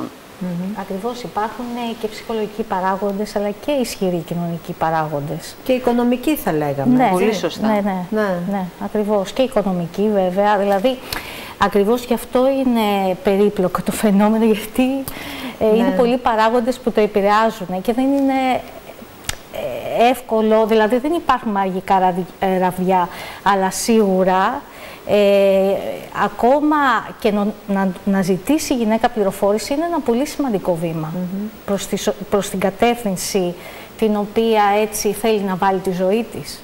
Δείχνει ένα υγιές κομμάτι, ναι. γιατί και τα θύματα και οι θύτες είναι άτομα τα οποία έχουν μεγαλώσει σε περιβάλλοντα σε σχέση και με αυτό που λέγαμε πριν, με τον τρόπο που να μεγαλώνουμε τα παιδιά μας, όπου θεωρούν κανονικό τη βία. Ναι. Υπάρχει μια κανονικότητα στη βία.